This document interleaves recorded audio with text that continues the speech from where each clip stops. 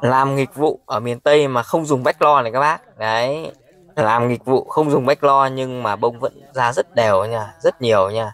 Bông ra như bông thuận vụ đúng không các bác?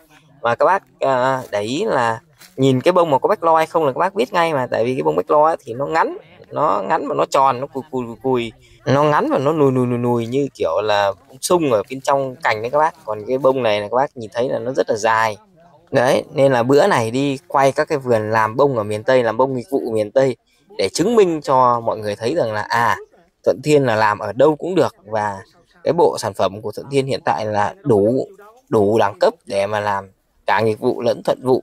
Và đặc biệt là thậm chí là không xài đến bách lo như những vườn ở miền Tây này nha các bác. Dân miền Tây ấy thì thường thường là rất là thần tượng bách lo, đấy, dùng bách lo rất là nhiều.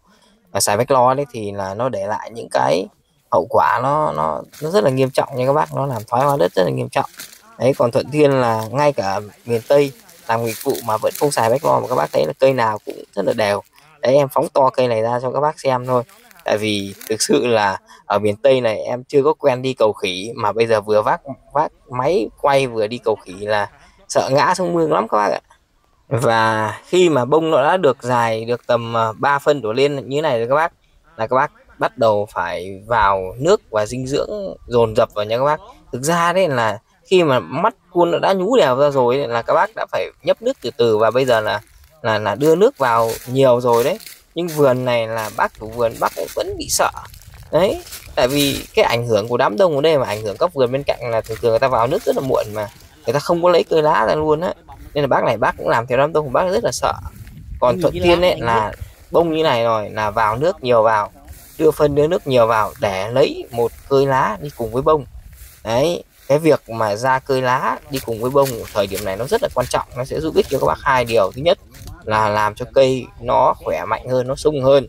Tại vì là đã ức chế đại bạt rồi là cây nó đã rất là đuối rồi. Ức chế bình thường làm thuận vụ nó nó bị ảnh hưởng một thì ức chế bằng cái cách đại bạt làm nghịch vụ này nó bị ảnh hưởng đến hai đến ba lần nha. Nó bị suy yếu gấp hai, gấp ba lần nên cái việc mà các bác lấy được một cây lá tầm này là rất quan trọng. Đấy, rồi lại quay trở lại với việc là lấy bộ lá thứ hai, cái cái tác dụng thứ hai của việc lấy bộ lá đấy đấy là nó hoàn thành tơi rồi đấy, thì về sau là trong cái giai đoạn mà trái non ấy, thì nó sẽ không có nhu cầu đi thêm đi thêm à, đọt nữa, nên là quản lý đọt nó sẽ rất là dễ dàng. Còn bây giờ mà ém nó lại nha, nó nín lại nha, thì nó tức ấy, là đến lúc mà sổ nhụy hoặc trái non ấy, nó phi đọt ra đến lúc đấy đấy mới gọi là mệt nha các bác đấy tại vì lúc đấy là bắt đầu các ông đi các ông chặn rồi đốt thì các kiểu cây nó suy yếu nó chỉ có một hai mùa là lên đường hết. Đấy nên là công việc bây giờ thứ nhất là tự tin mà đưa nước đưa phân vào thoải mái đi. Để lấy cây đọt thứ hai nữa là phải tỉa bông. Đấy bông như này là phải tỉa đi nha. Tỉa nguyên tắc tỉa là đầu các cái cành ngọn tỉa trước rồi mọc sai vị trí là ở trên uh, mọc mọc chổng ngược lên bên trên hoặc là ở ngang cành ấy là tỉa và nữa, sau đó là cứ tỉa dần dần, khi mà bông nó lớn lên thì bắt đầu là những cái chùm nào mà quá nhiều bông ấy, thì bắt đầu lặt bỏ lặt bỏ dần dần đi, một chùm đấy còn đâu đó chục bông trở lên thôi. Đấy, gọi là các bác phải tỉa mạnh tay lên thì về sau cái tỷ lệ đậu nó mới nhiều nha.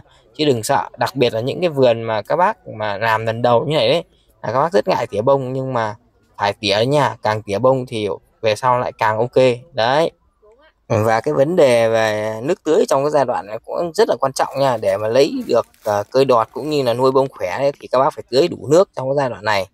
Đấy các bác nhìn cây mê không? Đấy làm làm nghịch vụ mà bông ra thì nghĩ này là là cực kỳ là là kinh khủng nha các bác cực kỳ là ok đấy. Mà đặc biệt là lại không dùng bách lo nữa. Ở miền tây đấy là rất nhiều vườn hiện tại mặc dù là dùng bách lo nồng độ rất cao. Đấy nhưng mà đại bạt đến hai mươi mấy ba mươi ngày rồi mà cây nó vẫn không có ra bông. Nên lại phải dở bạc lên và làm lại.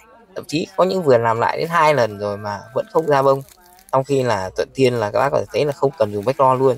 Mà bông vẫn ra rất là đạt rất là đều rất là đẹp.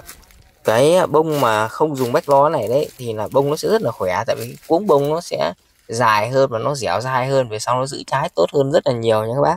Là cái thứ nhất. Cái thứ hai nữa là về lâu về dài ấy, thì cái cây nó không có bị ảnh hưởng bởi uh, bách lo. Bách lo nó là cái chất ức chế sinh trưởng các bác. Nó tồn dư trong đất và trong cây nó gây ảnh hưởng rất là nhiều. Nên rất nhiều vườn hiện tại ở miền tây là bị ngộ độc bách lo rất rất nặng. Và cây nó thoái hóa nó bị xì mủ bị vàng lá thối rễ rồi bị chổi trà rất là nhiều ấy. Và hầu như là những cái vườn ở miền Tây này được trên 10 15 năm rất là hiếm. Tại vì dùng bách lo nhiều nên là thường thường chỉ ăn trái trong khoảng tầm vài vụ là cây nó đã bị suy và phải cưa cây rồi. Đấy, còn làm với thuận thiên mà chuẩn như này nha. Em xin thưa các bác các bác làm đến đôi ba năm thoải mái. Và càng làm thì về sau năng suất nó lại càng nhiều nha.